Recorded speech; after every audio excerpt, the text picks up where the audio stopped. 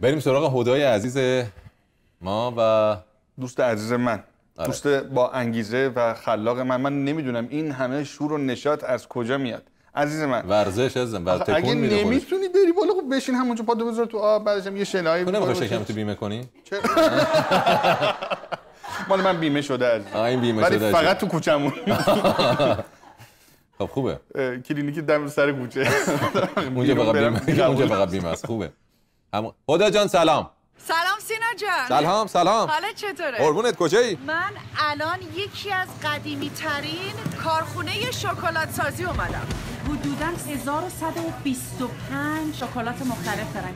تمام شکلات ها رو از اول همینجا درست می‌کنن این ساختمون بالای 100 سالشه. فکر کنم 150 سالشه این.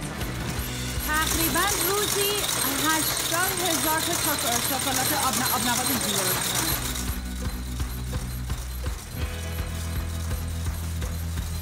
اینجا شکلات تلخه و شکلات شیر که اینجا درستش می‌کنن.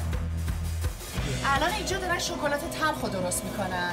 با دمای 91 درجه. حتی وزنه و اینا همه چی عتیقه است اینجا. این دستگاه مال سال 1870 که هنوز دارن استفادهش می‌کنن.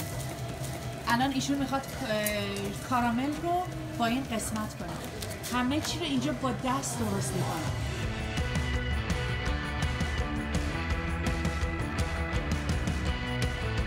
این شکلات کارامله.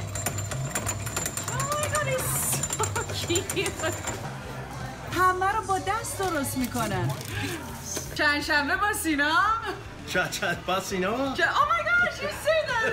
Awesome! چند شنبه با سینا من و توبین چاکلت فکتوری